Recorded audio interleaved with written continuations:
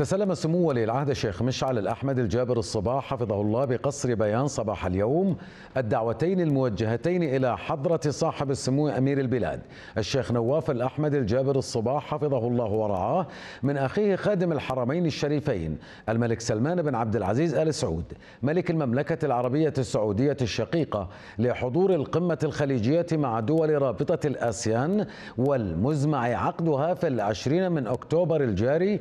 في مدينة الرياض وحضور القمة العربية الأفريقية والمزمع عقدها في الحادي عشر من نوفمبر من عام 2023 في مدينة الرياض في المملكة العربية السعودية الشقيقة.